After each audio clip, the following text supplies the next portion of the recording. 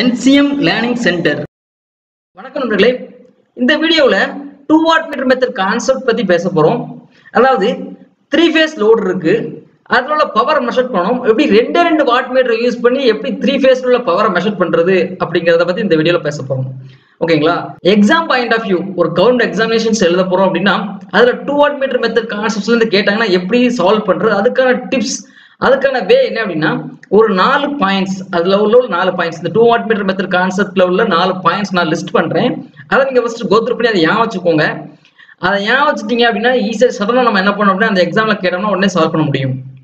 எக்ஸாம்ல இருக்கும்போது அவங்க ஜஸ்டிஃபிகேஷன் நீங்க ஏன் வச்சு நீங்க எக்ஸாம் எழுதுனீங்க அப்படின்னா உங்களுக்கு டைம் எடுத்துக்கிடும். வித்தின் அந்த பீரியட்ல நீ அந்த கொஸ்டின் சால்வ் பண்ண முடியாம போயிடும் ஸோ எக்ஸாமுக்கு போகும்போது அந்த நாலு பாயிண்ட்ஸ் நீங்க ஞாபகம் வச்சுட்டு போகணும். இந்த டூ வாட் மீட்டர் மெத்தட்ல உள்ள டூ நாலு பாயிண்ட்ஸ் நீங்க ஞாபகம் வச்சுட்டு போகணும் அந்த பாயிண்ட் ஃபஸ்ட் லிஸ்ட் பண்றேன். ஃபர்ஸ்ட் பாயிண்ட் என்ன அப்படின்னா ஒரு சிங்கிள் வாட் மீட்டர் மெத்தட் வச்சு இந்த த்ரீ ஃபேஸ்ல பவரை மெஷர் பண்ண முடியுமா அப்படின்னா பேலன்ஸ்டு லோடா இருந்ததுன்னா நம்ம என்ன பண்ணலாம் அப்படின்னா ஒரே ஒரு வாட் மீட்டர் யூஸ் பண்ணி நம்ம த்ரீ ஃபேஸ் உள்ள பவரையும் மெஷர் பண்ண முடியும். பேலன்ஸ் லோடுனா என்ன அப்படின்னா பேலன்ஸ் லோடுனா என்ன? மூணு ஃபேஸ்ல உள்ள மூணு ஃபேஸ் இருக்கு இல்லையா? அந்த மூணு ஃபேஸில் ஃப்ளோ கூடிய கரண்ட் வந்து சேமா இருக்கும். அதுக்கு அக்ராஸில் உள்ள வோல்டேஜும் சேமா இருக்கும்.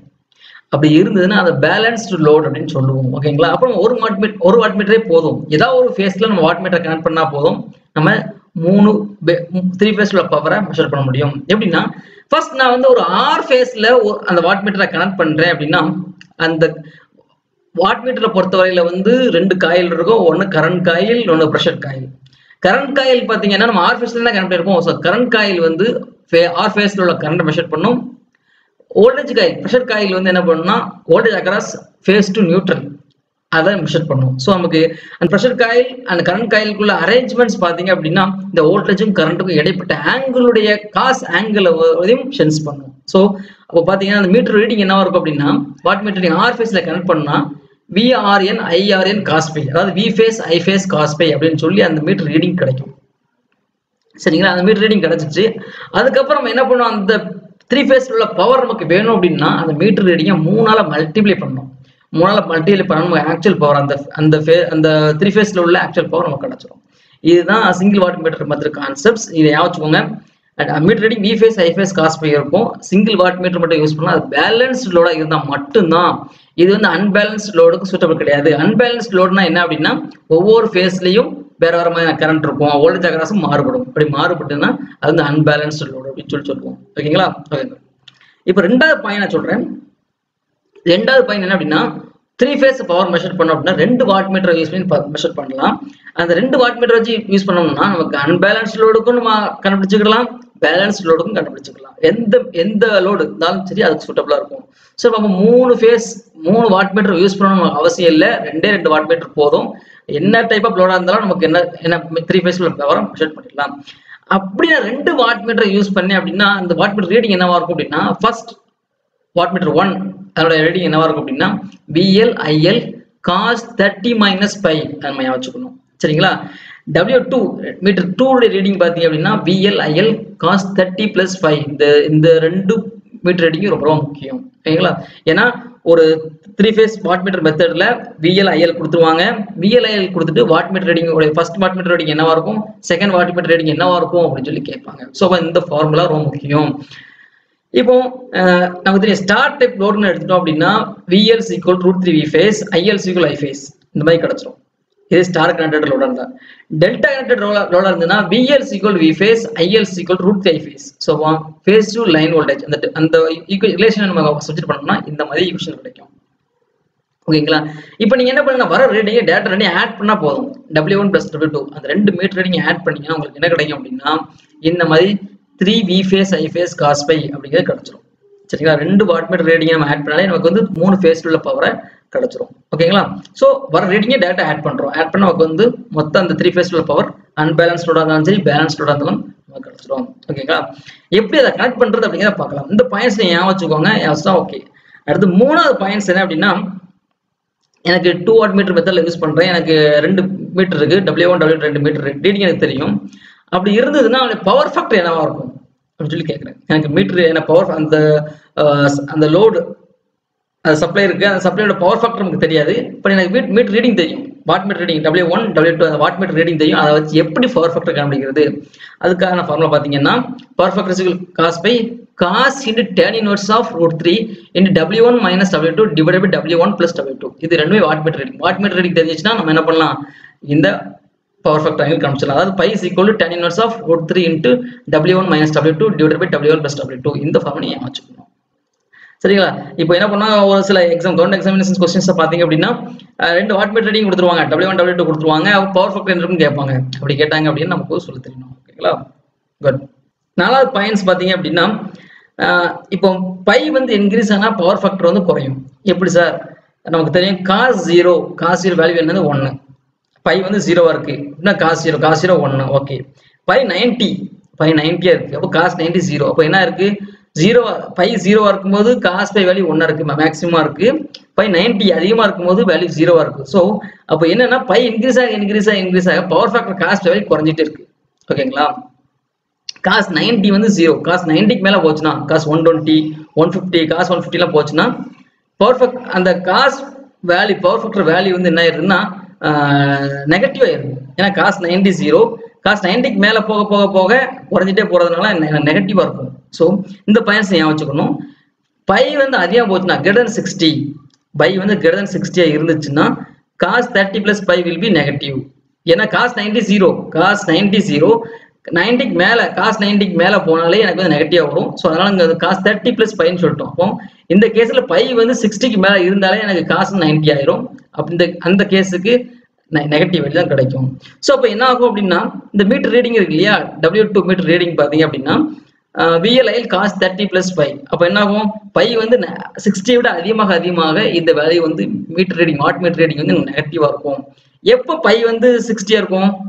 பை சிக்ஸ்டின்னா பவர் ஃபேக்டர் என்னவா இருக்கும்? பவர் ஃபேக்டர் வந்து பாயிண்ட் ஃபைவ் அப்போ பவர் ஃபேக்டர் வேலி கம்மியானா பாயிண்ட் ஃபைவ் விட கம்மியானா இந்த அந்த பாயிண்ட்ஸ் ரொம்ப முக்கியம். Power factor value point five விட கம்மியானா meter reading W two meter reading என்ன இருக்கும் நெகட்டிவாக இருக்கும். இது ஒரு கொஸ்டின் எப்போ வந்து மீட்டர் ரீடிங் நெகட்டிவாக வரும்னு கேட்பாங்க? சொல்ல தெரியணும். பவர் ஃபேக்டர் பாயிண்ட் ஃபைவ் விட கம்மியாச்சுன்னா ஒன் ஆஃப் த மீட்டர் அதாவது டபிள்யூ டூங்க மீட்டர் வந்து நெகட்டிவ் வேலையை காட்டும். சரி அப்போ நெகட்டிவ் வேலி காட்டுச்சுன்னா ஆக்சுவலாக ப்ராக்டிகல் கேஸில் பார்த்தோம்னா நெகட்டிவ் வேலி வராது. ஜீரோவாக தான் மீட்டர் மீட்டர் இருக்கும். அப்போ நம்ம என்ன டெர்மினல் மாற்றணும் டெர்மினல் மாற்றணும்னா அது நெகட்டிவ் வேலையாக காட்டும். ஓகேங்களா இந்த நாலு பாயிண்ட்ஸ் ரொம்ப முக்கியம். இந்த நாலு பாயிண்ட்ஸ் நம்ம தெரிஞ்சிட்டோம்னா டக் டக்குன்னு எக்ஸாம்ல சால்வ் பண்ணி ஆன்சர் பண்ணிடலாம். சரிங்களா? கொஸ்டின்ஸ் இதுல இருந்து எப்படிலாம் கொஸ்டின்ஸ் கேட்கலாம் அப்படின்னா first questions two watt meter மெத்தடில் விஎல் ஐஎல் கொடுத்துருவாங்க. இல்லை விஃபேஸ் ஐஃபேஸ் கொடுத்துருவாங்க. அப்போ வாட் ரீடிங் ஒன்று என்ன வாட்மீட்டர் டூ ரீடிங் டூ என்னன்னு கேட்பாங்க. அது ஒரு ஒரு கொஸ்டின்ஸ் இருக்கலாம் இல்லை வாட் ரீடிங் கொடுத்துருவாங்க. டபிள்யூ ஒன் டபிள்யூ டூ கொடுத்துட்டு நமக்கு பவர் ஃபேக்டர் அந்த இதில் பவர் ஃபேக்டர் என்னவா இருக்கும்னு சொல்லி கேட்பாங்க. மூணாவது இந்த மாதிரியான கொஸ்டின்ஸ் பவர் ஃபேக்டர் வந்து ஒரு பவர் ஃபேக்டர் கொடுத்துட்டு அந்த மீட்டர் நெகட்டிவாக இருக்குமா இருக்காதா? அப்படின்னு சொல்லி கேட்பாங்க. எந்த கண்டிஷனில் வந்து அது நெகட்டிவாக மீட்டர் ரீடிங் நெகட்டிவ் வரும்? அப்படின்னு சொல்லி கேட்பாங்க. அது வந்து நாலு பாயிண்ட் தெரிஞ்சுனா டிஃப்ரெண்டா ஒரு இந்த இந்த டூ வாட் மெத்தடில் ஆன்சர்ஸ் பண்ண முடியும். ஓகே இப்போ நம்ம ஜஸ்டிஃபிகேஷன்ஸ் போகும் இந்த- இந்த point two justification point three point one இப்போ இந்த பாயிண்டோட ஜஸ்டிஃபிகேஷன்ஸ் வந்து பார்க்கலாம். ஓகேங்களா இந்த ஜஸ்டிஃபிகேஷன் வந்து உங்களுடைய அண்டர்ஸ்டாண்டிங் தான். பட் எக்ஸாம் மைண்ட் ஆஃப் வியூவில் இந்த ஜஸ்டிஃபிகேஷன்லாம் தெரிஞ்சால் தான் நம்ம எக்ஸாம் போய் எழுத முடியும்னு நினைக்காதீங்க. எக்ஸாம்பிளாக டக்குனு இந்த பாயிண்ட் உங்களுக்கு தெரியணும். பாயிண்ட் தெரிஞ்சுன்னு சால்வ் பண்ணணும். ஓகேங்களா ஓகே இப்போ ஃபர்ஸ்ட் பாயிண்ட் ஜஸ்டிஃபிகேஷன்ஸ் சொல்கிறேன் சரிங்களா? ரெண்டு வாட் மீட்டரை கனெக்ட் பண்ணால் எப்படி அதோட ரீடிங்ஸ் இருக்கும்? அதுக்கான ஜஸ்டிஃபிகேஷன் இப்போ நம்ம ஒரு ஸ்டார் டைப் ஆஃப் லோட் எடுத்துக்குவோம். ஸ்டார் லோடு பார்த்தீங்கன்னா இது ஒரு ஸ்டார் லோட் இது R phase Y phase B phase star லோட்னு எடுத்தோம்னா VLs equal to root three V phase line வோல்டேஜுக்கும் phase வோல்டேஜுக்கும் different relations VLs equal to root three V phase ILs equal to I phase ஓகேங்களா? த்ரீனோ okay இப்போ என்ன பண்ண போகிறோம் அப்படின்னா ஒரு single metre use பண்ண போகிறேன் சிங்கிள் வாட் யூஸ் பண்ண அது வந்து நம்ம ஏதாவது ஒரு ஃபேஸில் கனெக்ட் பண்ணிக்கலாம். ஓகேங்களா இப்போ இதில் பார்த்தீங்க அப்படின்னா இது ஒரு சிங்கிள் வாட் மீட்டர் மெத்தட் நான் வந்து ஒரே ஒரு வாட் மீட்டர் தான் கனெக்ட் பண்ணியிருக்கேன். எந்த ஃபேஸில் ஆறு ஃபேஸில் கனெக்ட் பண்ணியிருக்கேன். ஓகேங்களா இப்போ இந்த மீட்டர் ரீடிங் என்னவா இருக்கும் அப்படின்னு சொல்லி பார்க்குறேன் இதில் ஆக்சுவலாக த்ரீ ஃபேஸ் லோடுனா அதனுடைய பவர் என்னன்னா three into V phase I phase cos phi அந்த மீட்டர் ரீடிங் வருதா அப்படின்னு சொல்லி பார்க்க போகிறோம் இப்போ வாட் மீட்டரில் ரெண்டு காயில்ஸ் இருக்கும். ஒன்று கரண்ட் காயில் ஒன்று ப்ரெஷர் காயில் ஓகேங்களா? இந்த கரண்ட் கையில் எதை சென்ஸ் பண்ணும்? அதில் வழியாக ஃப்ளோலே கரண்ட் இதில் பார்த்தீங்கன்னா அந்த ஐஆருங்க கரண்ட்டை வந்து இந்த கரண்ட் காயில் சென்ஸ் பண்ணும். இந்த ப்ரெஷர் காயில் எதை சென்ஸ் பண்ணும்? இந்த ப்ரெஷர் காயில் எந்த எந்த டெர்மினல் கரெக்டாக கனெக்ட் பண்ணிருக்கோமோ அதை சென்ஸ் பண்ணும். பார்த்தீங்கன்னா இந்த ப்ரெஷர் காயில் எங்கே கனெக்ட் பண்ணிருக்கோம்? இந்த ப்ரெஷர் காயில் பார்த்தீங்கன்னா ஆருக்கும் நியூட்ரலுக்கும் இடையில கனெக்ட் பண்ணிருக்கோம். சரியா? ஸோ அப்போ சென்ஸ் பண்ணும்? இந்த அரேஞ்ச்மெண்ட்ஸ் கரண்ட் காயிலுக்கும் ப்ரெஷர் காயிலுக்கும் அரேஞ்ச்மெண்ட்ஸ் என்ன சென்ஸ் பண்ணோம்னா அப்படின்னா காஸ் ஆங்கிள் ஆஃப் ஐஆருக்கும் பிஆர்எனுக்கும் இடைப்பட்ட ஆங்கிளை சென்ஸ் பண்ணும். ஸோ இப்போ மீட் ரீடிங் என்னவா இருக்கும் அப்படின்னு பார்த்தோம்னா ஃபேஸர் டயக்ராம் படி ஃபர்ஸ்ட் நம்ம ஒவ்வொரு phase VRN R R phase Y phase B phase மூணு ஃபேஸ்க்குள்ள இடைப்பட்ட ஆங்கிள் வந்து ஒன்றொன்று டிகிரி டிஃப்ரென்ஸ் இருக்கும் தெரியும். ஒவ்வொரு ஃபேஸ்க்கும் இடைப்பட்ட ஆங்கிள் வந்து ஒன்றொரு டிகிரி ஏன்னா இதில் உள்ள காயில் வந்து ஒன்று டிகிரி அரேஞ்ச்மெண்ட்ஸில் இருக்கும். ஸோ வோல்டேஜ் வந்து ஒன்று டிகிரி ஃபேஸ் டிஃப்ரென்ஸில் இருக்கும். ஓகேங்களா? நான் இது இண்டக்டிவ் லோடுன்னு எடுத்துக்கிறேன் இண்டக்டிவ் லோடுன்னு எடுத்துக்கிறேன் இண்டக்டிவ் மோட்டார்னு சொல்லுவோம். ஒரு இண்டக்டிவ் லோடு இண்டக்டிவ் லோடுனா கரண்ட் வந்து லேக் வோல்ட் இருந்து லீடு ஸோ அப்போ கரண்ட் லேக் ஒரு ஒரு ஒரு ஃபைவ் ஆங்கிள் லேக்னு எடுத்துக்குவோம். இந்த மாதிரி. இந்த ஐஆர் பார்த்தீங்கன்னா விஆர்எனுக்கு ஒரு ஒரு பையங்கள் லேக்காக இருக்கும். விஒய்ஒஎன் வி ஐஒய் பார்த்தீங்கன்னா விஒய்எனுக்கு ஒரு பையங்கள் லேக்காக இருக்கும். ஐபி பார்த்தீங்கன்னா விபிஎன்லேருந்து ஒரு பையங்கள் லேக்காக இருக்கும். ஸோ பையங்கள் லேக் ஓகே தெரிஞ்சிச்சு இப்போ இந்த கரண்ட் காயிலுடைய ரீடிங் என்னவா இருக்கும் அப்படின்னா இந்த கரண்ட் காயில் சென்ஸ் பண்ற ஐஆர் சென்ஸ் பண்ணுது. ஸோ ஐஆர் இந்த ப்ரெஷர் காயில் சென்ஸ் பண்ணது பிஆர்என் ஏன்னா ஆர்க்கும் எண்ணுக்கும் இடையில கண்டிப்பாக பிஆர்என்ல சென்ஸ் பண்ணும். இந்த அரேஞ்ச்மெண்ட்ஸ் பார்த்தீங்கன்னா விஆர்என்னுக்கும் ஐஆருக்கும் இடைப்பட்ட ஆங்கிளை சென்ஸ் பண்ணும். அப்போ இதான் actual formula PRN IR cos இந்த பிஆர்என்னுக்கும் ஐஆருக்கும் இடைப்பட்ட ஆங்கிள் இங்க விஆர்எனுக்கு ஐஆருக்கு இடைப்பட்ட ஆங்கிள் எவ்வளவு? பை ஸோ அப்போ அதோட வேல்யூ என்னன்னா பிஆர்என்ங்கிறது வி ஃபேஸ் ஐஆர்ங்கிறது ஐ ஃபேஸ் காஸ் பை இதுதான் இந்த meter reading W one meter reading வந்து V phase I phase cos phi இப்போ ஒரு பேலன்ஸ் லோடாக இருந்ததுன்னா ஒவ்வொரு ஃபேஸில் உள்ள கரண்ட்டும் வோல்டேஜும் சேமாக இருந்ததுன்னா நமக்கு அந்த ஒரு சிங்கிள் வாட் மீட்டரே போதும். ஸோ அப்போ என்ன பண்ணலாம்? ஆக்சுவல் பவர் என்ன கிடைக்கும் அப்படின்னா மூணால் மல்டிப்ளை பண்ணிட்டோம்னா இந்த லோடு உள்ள பவர் தெரிஞ்சிடும். இது single watt watt meter method இப்போ என்ன பண்ண போறேன் அப்படின்னா த்ரீ வாட் மீட்டர் நான் யூஸ் பண்ணுறேன்னு வச்சுக்கோங்க. கனெக்ஷன்ஸ் இப்போ இதில் பார்த்தீங்க அப்படின்னா ஆர் ஃபேஸ்லேயும் ஒரு வாட் மீட்டர் கனெக்ட் பண்ணியிருக்கேன்.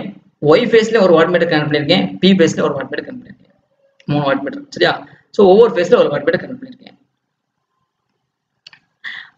ஒவ்வொரு அந்த வாட் மீட்டர்ல பார்த்தீங்கன்னா ப்ரெஷர் காயில் பார்த்தீங்கன்னா நியூட்ரல்ல போய் கனெக்ட் ஆயிருக்கும். ப்ரெஷர் காயில் டெர்மில் பார்த்தீங்கன்னா நியூட்ரல் கனெக்ட் ஆயிருக்கா? இந்த ஒய் ஃபேஸில் உள்ள வாட் மீட்டர் பார்த்தீங்கன்னா நியூட்ரல் தான் கனெக்ட் ஆயிருக்கும். பி ஃபேஸில் உள்ள ப்ரெஷர் காயில் டெர்மில் பார்த்தீங்கன்னா நியூட்ரல் அந்த ப்ரெஷர் காயில் டெர்மினல்ஸ் வந்து நியூட்ரல் தான் கனெக்ட் ஆயிருக்கும். அப்படி அப்படி கனெக்ட் பண்ணிருக்கணும் ஆக்சுவலாக அப்படி கனெக்ட் பண்ணால் தான் த்ரீ ஆக்சுவல் த்ரீ ஃபேஸ் கிடைக்கும். ஓகே இப்போ இந்த டபிள்யூ ஒன் மீட்டர் ரீடிங் என்னவா இருக்கும் அப்படின்னா நமக்கு இதே தான் VRN IR cos angle between VRN IR கிடைக்கும். ஓகே ஸோ இப்போ இதை அப்படி வச்சுக்கலாம் விஆர்என் ஐஆர் காஸ் பை எழுதிக்கலாம். வாட் மீட்டர் த்ரீ ரீடிங் பார்த்தீங்க அப்படின்னா இந்த கரண்ட் காயில் ஐஒயை சென்ஸ் பண்ணும். இந்த ப்ரெஷர் காயில் வோல்டேஜ் அக்ராஸ் ஒய்க்கும் எண்ணுக்கும் இடைப்பட்ட வோல்டேஜ் சென்ஸ் பண்ணும். ஸோ இப்போ டபிள்யூ த்ரீ ரீடிங் பார்த்தீங்க அப்படின்னா PYN IY cos angle between VYN and IY விஒய்எனுக்கும் ஐஒய்க்கு இடைப்பட்ட ஆங்கிள் பை ஸோ இப்போ டபுள்யூ த்ரீ ரீடிங் என்னவா இருக்கும் அப்படின்னா விஒய்என் ஐஒய் காஸ் பை கிடைக்கும். அதுக்கப்புறம் டபிள்யூ டூ இந்த செகண்ட் வாட் மீட்டர் ரீடிங் என்ன அப்படின்னு பார்த்தீங்க அப்படின்னா இது ஐபிஐ சென்ஸ் பண்ணும் இது ஐபி சென்ஸ் பண்ணும். ஸோ அந்த மாதிரி இருக்கும். அப்போ V phase I phase cos phi இது V phase I phase cos phi தான். இப்போ நம்ம மூணு ரீடிங் ஆட் பண்ணேன் அப்படின்னா எனக்கு என்ன கிடச்சிரும் அப்படின்னா எனக்கு டோட்டல் பவர் இந்த த்ரீ ஃபேஸ் உள்ள பவர் எனக்கு கிடைச்சோம் so three into V phase I phase cos கிடைச்சிடும் இது த்ரீ வாட் மீட்டர் மெத்தட் ஆனா மூணு வாட் மீட்டர் இல்லாமலே ரெண்டு வாட் மீட்டர் வச்சே நம்ம எல்லா லோடுக்கும் நம்ம கனெக்ட் பண்ண முடியும்னு தெரியும். இப்போ நான் டூ வாட் மீட்டர் யூஸ் பண்ண போறேன். அதுக்கு எப்படி கனெக்ட் பண்றது? டூ வாட் மீட்டர் எப்படி கனெக்ட் பண்றது? எந்தெந்த ஃபேஸ்ல கனெக்ட் பண்றது? அப்படியே பார்ப்போம். சரியா? இப்போ நான் டூ வாட் மீட்டர் யூஸ் பண்ணேன் அப்படின்னா கனெக்ட் பண்ணணும். ஃபார் எக்ஸாம்பிள் நான் ரெண்டு ரெண்டு வாட் மீட்டர் தான் யூஸ் பண்ணியிருக்கேன். ரெண்டு ஃபேஸில் கனெக்ட் பண்ணியிருக்கேன். ஆர் ஃபேஸ்லையும் பி ஃபேஸ்லையும் கனெக்ட் பண்ணியிருக்கேன். ஒய் ஃபேஸ்ல கனெக்ட் பண்ணல. அப்போ என்ன பண்ணணும் அப்படின்னா இந்த ப்ரெஷர் காயோட ரெண்டாவது டெர்மினல் இருக்கு இல்லையா? அதை வந்து நியூட்ரலில் கனெக்ட் பண்ணாம நியூட்ரலில் லெஃப்ட் பிளாங்கா விட்டுறணும். பிளாங்கா விட்டுட்டு இந்த ப்ரெஷர் காயோட செகண்ட் டெர்மினல் எங்கே கனெக்ட் பண்ணணும்? ஒய் ஃபேஸில் கனெக்ட் பண்ணணும். இங்கே பாருங்க இதோட ப்ரெஷர் காயோட எங்கே கனெக்ட் பண்ணுவோம் ஒயில oh, கனெக்ட் பண்ணிருக்கேன் இந்த டபிள்யூ ஒனுடைய ப்ரெஷர் காயில் எங்கே கனெக்ட் பண்ணியிருக்கேன்? ஒயில கனெக்ட் பண்ணியிருக்கேன். ஒய் ஃபேஸில் கனெக்ட் பண்ணியிருக்கேன். நியூட்ரலில் எதுவுமே கனெக்ட் பண்ணல. பட் த்ரீ வாட் மீட்டர் மெத்தட்லையும் சரி சிங்கிள் வாட் மீட்டர் மெத்தட்லையும் சரி நம்ம மீட்டர் கனெக்ட் பண்ணும்போது அந்த ஃபேஸுக்கும் நியூட்ரலுக்கும் இடையில அந்த ப்ரெஷர் காயில் இருக்கிற மாதிரி பார்த்தோம். பட் நீங்க டூ வாட் மீட்டர் மெத்தட்ல நியூட்ரல் வந்து பிளாங்காக விட்டுருவோம் பிளாங்காக விட்டுட்டு ஒரு நம்ம எந்த ஃபேஸ்ல வந்து வாட் மீட்டரை கனெக்ட் பண்ணாமல் இருக்குமோ அந்த ஃபேஸ்ல தான் நம்ம என்ன பண்ணோம் ப்ரெஷர் காயிலுடைய அதர் டைம்ல கனெக்ட் பண்ணணும். எங்க வந்து ஒயில வந்து நம்ம வாட் மீட்டரை கனெக்ட் பண்ணல. ஸோ அதனால க இந்த ப்ரெஷர் காயிலுடைய அதர் டெர்மினல் ஒயில தான் போய் இருக்கணும். சரிங்களா அப்போ இந்த ப்ரெஷர் காய் என்ன சென்ஸ் பண்ணும்? வி ஆர் என்ன சென்ஸ் பண்ணாது? வி ஆர் ஒய் ஏன்? ஆருக்கும் ஒய்க்கு இடையில தான் இந்த ப்ரெஷர் காயில் இருக்கு. அப்போ இந்த காயில் சென்ஸ் பண்றது வி ஆர் ஒய சென்ஸ் பண்ணும். வி ஆர் என்ன அர்த்தம்? வி வி ஆர் ஒய் அப்படி எழுதலாம். V R N minus V Y N அப்படின்னு எழுதலாம். ரெண்டு டிஃபரன்ஸ் தானே? வோல்டேஜ் டிஃபரன்ஸ் தான். ஸோ அப்போ அதனால நம்ம என்ன பண்ணலாம் அப்படின்னா வி ஆர் ஒய்யை V R N minus V Y N அப்படின்னு சொல்லி எழுதலாம். ஓகேங்களா ஸோ இப்போ ஃபேஸர் டைம் ஃபேஸர் டயக்ராமுக்கு வருவோம். நமக்கு தெரியும் இந்த ஃபேஸ் ஒவ்வொரு ஃபேஸுக்கு இடைப்பட்ட ஆங்கிள் வந்து ஒன்றரை டிகிரின்னு தெரியும். ஸோ நான் மார்க் பண்ணியிருந்தேன் இப்போ மைனஸ் விஒய்என் அப்படின்னு என்ன அர்த்தம்னா மைனஸ் விஒய்என்னா இதுக்கு ஆப்போசிட்ல போகும். அதாவது ஒன் எயிட்டி டிகிரி ஒய்என் விஒய்எனுக்கும் மைனஸ் விஒய்எனுக்கும் இடைப்பட்ட ஆங்கிள் எவ்வளோ இருக்குன்னா ஒன் எயிட்டி டிகிரி இருக்கும். மேக்னிடியூட் வந்து சேம் பட் ஆங்கிள் வந்து ஒன் எயிட்டி டிகிரி அதாவது போலார் ஃபார்ம் இப்போ விஒய்என் மைனஸ் இஒய்என் அப்படின்னு என்ன அர்த்தம் அப்படின்னா மேக்னிடியூட் சேம் தான். VYN minus விஒய்எனோட magnitude same but angle difference வந்து one eighty degree angle difference ஓகேங்களா ஸோ இப்போ இந்த விஒய்எனுக்கும் மைனஸ் இஒய்எனுக்கும் இடைப்பட்ட ஆங்கிள் ஒன் எயிட்டி ஓகே அப்போ இங்கேருந்து இது வரை நமக்கு என்ன இருக்கு? வி ஆர்என்னுக்கும் இடைப்பட்ட ஆங்கிள் வந்து ஒன் டுவெண்ட்டி இதுக்கும் வி இடைப்பட்ட ஆங்கிள் வந்து ஒன் எயிட்டி அப்போ இந்த ரெண்டு இடைப்பட்ட இருக்கும். வி ஒய்எனுக்கும் வி ஆர்எனுக்கும் இடைப்பட்ட ஆங்கிள் இருக்கும்? சிக்ஸ்டி இருக்கும். ஆக்சுவலா இந்த வி ஒய்எனுக்கும் மைனஸ் வி ஒய்எனுக்கும் இடைப்பட்ட ஆங்கிள் ஒன் எயிட்டி வி ஒய்எனுக்கும் வி ஆர்எனுக்கும் இடைப்பட்ட ஆங்கிள் ஒன் டுவெண்ட்டின்னு தெரிஞ்சிருச்சு. அப்போ மைனஸ் விஒய்னுக்கும் விஆனுக்கும் இடைப்பட்ட ஆங்கிள் எவ்வளோ இருக்கும்னா சிக்ஸ் டிகிரி இருக்கும். அது தெரிஞ்சுக்கணும் தெரிஞ்சிடணும். ஓகேங்களா குட் இப்போ என்ன பண்ண போறேன்? விஆர்ஒய்ங்கிறது என்னது? பிஆர்என்னையும் மைனஸ் விஒய்என்னையும் ஆட் பண்ண எனக்கு விஆர்ஒய் கிடச்சிரும். ஸோ இது ரெண்டு vector add vector additions vector addition add பண்ண என்ன வரும்? இந்த டைரக்ஷனில் போகும். வெக்டர் அடிஷன்ஸ் ஈக்குவலாக டிவைட் ஆகி போகுது. ஓகேங்களா ஸோ அப்போ இது ஈக்குவலாக டிவைட் ஆகும்போது என்ன ஆகும் முப்பது டிகிரி முப்பது டிகிரி கிடைக்கும். ரொம்ப அப்ராக்சிமேட்டா ரொம்ப வெரி க்ளோஸில் இருக்கும். முப்பது டிகிரி அன்பேலன்ஸ்டா இருந்தாலும் வெரி க்ளோஸாக முப்பது டிகிரி முப்பது டிகிரில இருக்கும். இப்போ வி ஆர் ஒய்க்கும் வி ஆர் என்னுக்கும் இடைப்பட்ட ஆங்கிள் எவ்வளவுனா தேர்ட்டி டிகிரி அதாவது இந்த ஒரு பாயிண்ட் நீங்க வச்சுக்கணும். விஆர்ஒய்ங்கிறது லைன் வோல்டேஜ் வி என்கிறது ஃபேஸ் வோல்டேஜ் அப்போ லைன் வோல்டேஜுக்கும் ஃபேஸ் வோல்டேஜுக்கும் இடைப்பட்ட ஆங்கிள் வந்து தேர்ட்டி டிகிரி அப்படிங்கிறத ஏன் தெரிஞ்சுக்கணும். சரிங்களா? இது வந்து கான்செப்ட் படி தான் தெரியணும்னு இருக்கக்கூடாது.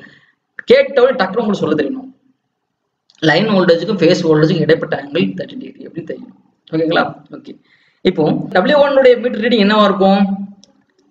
இது சென்ஸ் பண்ண ப்ரெஷர் கையில் சென்ஸ் பண்ணுறது வி ஒய்யை சென்ஸ் பண்ணும்.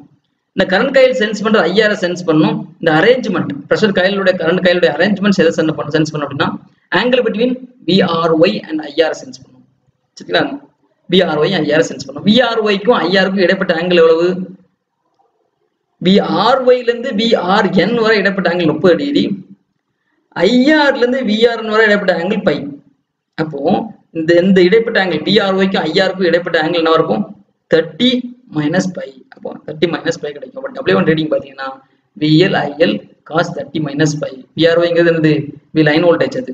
ஐஆர்சி ஐ ஃபேஸ் ஸ்டார்குலேட்டட் லோடு அப்போ ஐஎல் என்று காஸ் தேர்ட்டி மைனஸ் பை கிடைக்கும். வாட் மீட்டர் ஒன் ரீடிங் வந்து VL IL cos thirty minus phi இதுதான் கான்செப்ட்ஸ் ஏன் வாட் மீட்டர் வந்து ஒன் வந்து VL IL cos thirty minus five reading கொடுக்கு அப்படின்னா இந்த அரேஞ்ச்மெண்ட்ஸ் தான். நம்ம ப்ரெஷர் காயிலுடைய செகண்டரி டெர்மினல் வந்து நியூட்ரலில் கனெக்ட் பண்ணாம என்ன எங்கே கனெக்ட் பண்ணுவோம்? இன்னொரு லைன் வோல்டேஜை கனெக்ட் பண்ணுவோம். அப்போ சென்ஸ் பண்ணுறது என்ன? லைன் வோல்டேஜ் சென்ஸ் பண்ணும். அப்போ நமக்கு தெரியும் லைன் ஃபேஸ் ஆங்கிள் பார்த்தீங்கன்னா லைன் வோல்டேஜுக்கும் ஃபேஸ் ஆங்கிளுக்குள்ள டிஃபரன்ஸ் பார்த்தீங்கன்னா thirty degree thirty five thirty degree angle இருக்கு. ஸோ அந்த தேர்ட்டி வந்து உள்ள இன்க்ளூட் ஆகும். அதை நீங்கள் வச்சுக்கணும்.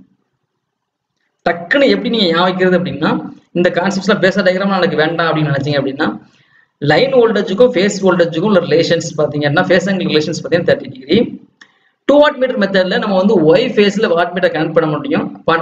ஒய் ஃபேஸ்ல வாட் மீட்டர் கனெக்ட் பண்ண மாட்டோம்.